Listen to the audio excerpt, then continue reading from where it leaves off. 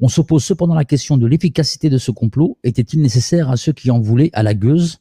La complicité passive des corps d'État et de beaucoup de politiques n'était-elle pas suffisante? Alors moi, c'est une question à laquelle je ne pourrais pas, je, ne pourrais pas répondre, c'est-à-dire est-ce que, est que finalement ça a servi à quelque chose? Bah, euh, Moi, je me contente comme historienne d'examiner le complot et sa mise en œuvre. Je ne peux pas répondre sur autre chose.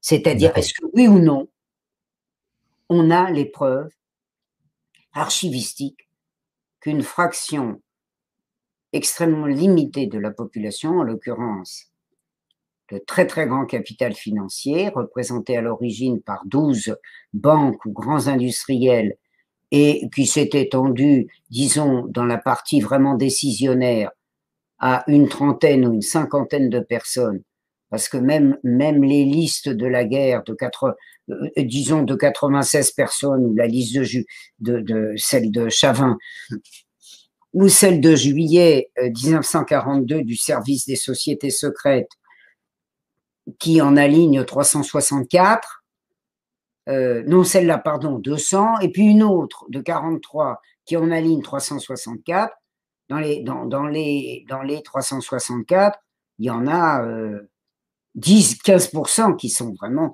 au sommet. Et ceux qui sont au sommet, ce sont les décisionnaires de l'économie.